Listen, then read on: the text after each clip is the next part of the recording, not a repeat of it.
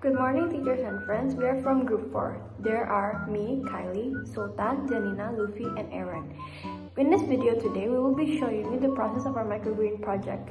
Before we show you the process of what happened during the last 11 days, we will be explaining what microgreen is. So, microgreens are the shoot vegetable greens that can act, act as a nutrition supplement, visual enhancement, and it can also add flavors and textures to the dish we eat.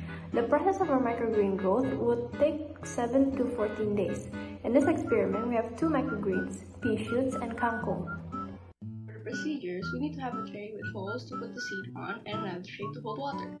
First, we need to soak the seeds for about 5 to 12 hours. After waiting, we spread the seeds equally on the tray with holes, one side kangkong and the other pea shoot.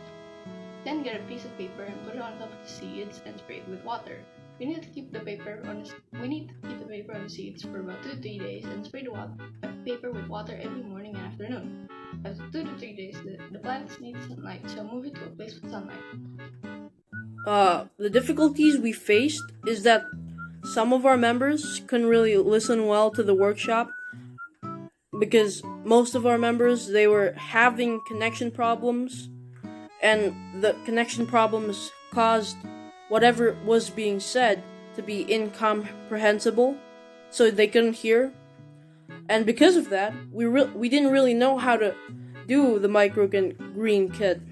We've been asked we we asked each other if they knew, but they also had the same problem.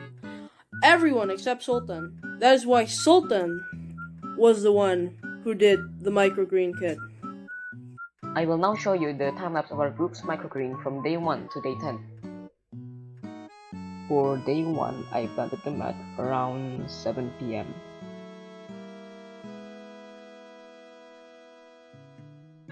On day 7, I feared they would need sunlight so I moved it to my parents' balcony. On day 10, the pea shoots were about 17 centimeters tall and the kangkong was 11 centimeters. Here we have the roots of the microgreen, on the right are pea shoots and the left are kangkong. Let's bring us to the end of our presentation. I'd like to summarize that by doing this microgreen is not that too easy because we need to soak the microgreen for longer and we need to water the tray. And of course, the plants need more sunlight and longer time to grow or else the microgreen will be considered as a fail. I think that concludes our videos and presentation. Thank you for your time and kind attention. We might we apologize if we might have some, said something wrong. And once again, thank you.